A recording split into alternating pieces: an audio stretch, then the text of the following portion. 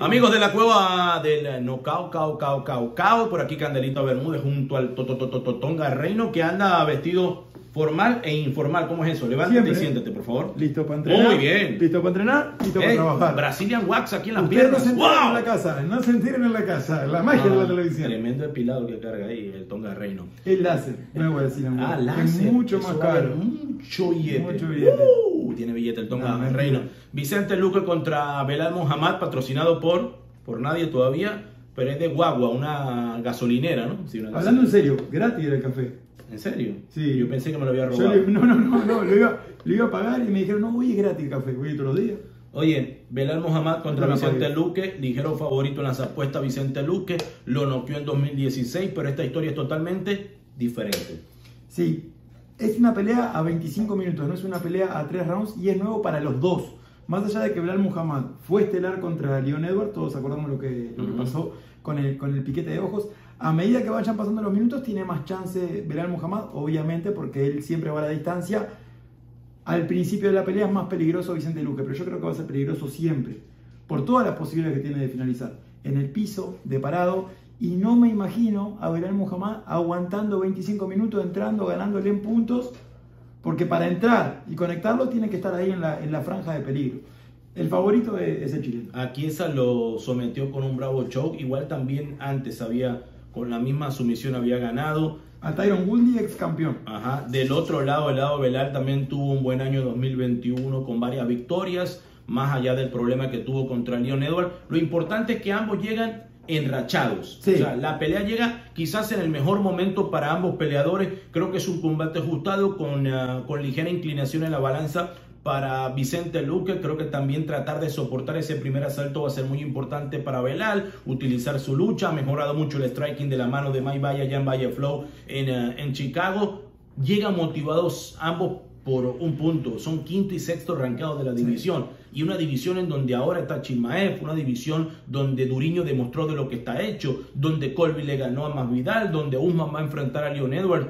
Oye, el que gane aquí, Rakhmonov también es una buena pelea el, para, que gane aquí se va a meter en los papeles, por lo menos esperando su turno en la fila a ver si le toca ese choque de, Y te, de a, título. y te voy a decir algo, soñar no cuesta nada. Yo creo que si gana eh, Vicente Luque podemos soñar con traer la UFC otra vez en, en Sudamérica. Pensá que en un mes tenemos el- como estelar a Vicente Luque y como estelar a Chito Vera. Realmente podemos imaginarnos que hay muchos peleadores que pueden en Sudamérica. No estoy hablando de México, obviamente México tiene para tirar Sí. para arriba peleadores, pero... Rafa García va en esta, ¿no? Rafa García vuelve después de su primera victoria dentro, dentro de la UFC. Sí, señor. Así que bueno, este es el pronóstico del eh, Tonga Reino. ¿Cuál es tu y es un pronóstico? pronóstico Vicente no, Luque. Vicente Luque, pero muy ligero. Sí. Yo veo una pelea muy difícil de Y pronosticar. la de Errol Spence contra... Contra Jordan y Sugar, te voy a decir algo. Yo creo que Ugas le puede ganar a, a Spence. Para mí, Spence no es el mismo después del accidente. Yo miré hoy de vuelta la de, la de Ugas contra Pacquiao. Como Pacquiao es zurdo, pero claro, es difícil de comparar. Otro Pero zurdo, qué bien, qué bien que le contraatacó el jab. Jordan Ugas. Pero se pone a pensar, el que tiró mucho más fue Manny Pacquiao. Y no, y decíamos en ese combate, Jordani se está yendo la boca al lobo, no solo por enfrentar a Pacquiao, sino porque tomó la pelea con corto aviso. Pero quizás esto también le quitó a Manny Pacquiao las armas que tenía ya preparadas para enfrentar a otro tipo de rival y llega Jordani Sugasi y le gana. Va a ser una buena pelea. Por allá tenemos eh, al Chava, a Renato, a Omar, a Jim. Mariale, Está todo el Fernando mundo, Barbosa, está todo toda la banda. Menos nosotros, tanto. Está trabajando. Nosotros vamos a cubrir pronto una de boxeo también. Serio? contra Valdés. Claro, es el mismo fin de semana que... del uh, Que Chito, Chito. Vera. Pero nada, nada, ya lo saben, eh, yo creo que sí, que parte como favorito Vicente Luque. Me preguntaban también a través de las redes, ¿puede haber finalización? Es lo más seguro al tener un hombre como Vicente Luque, Sí. que de 21 triunfos creo que tiene 19 Sí. por la vía solamente de knockout. cuatro, solamente... No, eh, por la vía de la finalización. De la finalización, sí, finalización, sí. Eh, Solo solamente dos, tiene, tiene, tiene, tiene poquitas, poquitas la, en la decisión, pero también está Belal Muhammad enfrente, que es bien difícil, por eso. Que por tiene todo. pocas finalizaciones. Y pero, se mueve bien con ese estilo de Valle Flow, que ha mejorado muchísimo, en la lucha. No es lo mismo Vicente Luque en el piso por encima que por abajo. Eh, va, va a ser difícil, pero recordemos que es a 25 minutos. Oye, y también lo importante, Belal ahora llega con mucha más experiencia dentro del octágono Sí. más importante del mundo, de la UFC. Ya no es aquel muchacho quizás tímido. Ya, ya, ya había tenido terreno eh, ganado Vicente Luque cuando y se los enfrentaba. perdedores que se vuelven ganadores tienen mucho Bueno, yo voy a contar una anécdota aquí. Phoenix 2021, no sé si fue 5 o 4 de junio, creo que por ahí más o menos. Era la cartelera de Adesaña contra Vettori, donde Brandon Moreno le ganó a Davidson Figueredo. Estamos el Tongue y yo Yo- entrenando, Eh, cuando él dice, ve contar una anécdota, yo tiemblo. No, y no, no. Y no, está espérate de mi novia atrás, imagínate. Era, era, estábamos solitos con un paral, un teléfono, una lucecita entrevistando. Adesaña se paró, que de manera espectacular le hicimos la entrevista, hasta bailó salsa, ¿te acuerdas? Sí, sí, sí. Eh, Brandon Moreno, lo mismo, Figueredo, lo mismo, pasa Belal es más, me acuerdo que Adesanya, en lugar de decir E ESPN Knockout, dijo eh, algo más, E ESPN San Jaja, y le hicimos Oye. repetir el saludo y Adesanya con mucho gusto. Pasa Belal, Tonga le dice, oye, un momentito, y el tipo dice, estoy apurado, se va. Su entrenador, Mike Valle, lo conocemos desde hace mucho Muchísimo, tiempo y, y coincidimos en muchas Y carteleras. estaba Viene- también eh, Horacio Gutiérrez. Ajá, Punisher, Horacio Gutiérrez, que mexicano también habíamos hasta transmitido. Claro. Llega el entrenador, habla con nosotros Mike, habla con nosotros eh, Horacio y le decimos, oye, pasó por ahí Belal, no, No no lo pudimos entrevistar a todo el mundo menos a él que no quiso. ¿Qué qué? Se fue. Al rato regresó Belal Con la cabeza con la cabeza abajo.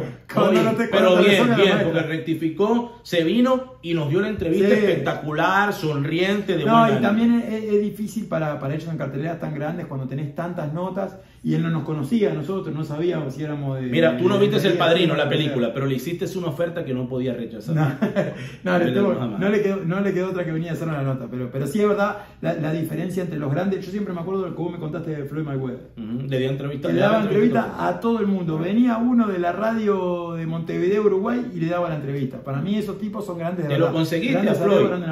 En bicicleta, ¿no? En bicicleta. En bicicleta. Un grito. Vuelve Floyd. Hablando. El sí, 14 de sí. mayo en Dubai. Y ya va, ya va. No me ¿Y ¿Sabes quién nombre también? Y ahí va Spider también. Ah, no, no, no. Dicen que Manny. Pacquiao, dicen que Manny Pacquiao puede regresar de nuevo. Contra el ganador de Spence Ugas. Vos estás bien enterado de todo. En agosto. Bueno, hablando de Phoenix, por cierto, rapidito, ahí es la cartelera en el estadio de básquet de los Suns de Phoenix, es la cartelera de eh, Oliveira contra Gagey.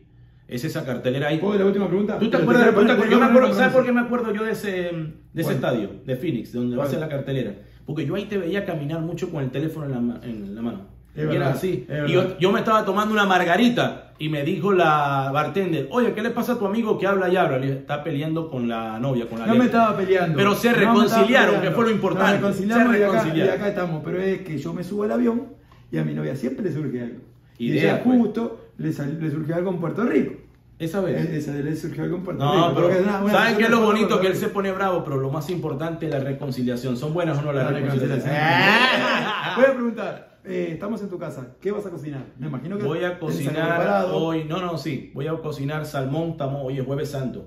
Salmoncito. No con mientas. Arroz con, Voy a subir la foto. con coco. Voy a subir la foto. eh, verduras al vapor. Tequilita tengo por allá, mezcal tengo por allá, cerveza tengo por allá, vino, cerveza, ron, whisky. Así que ya lo saben, la cueva del Noca nos despedimos. Suscríbase, active la campanita y nos vemos como siempre muy pronto. Mañana nos vemos, chicos. Bye.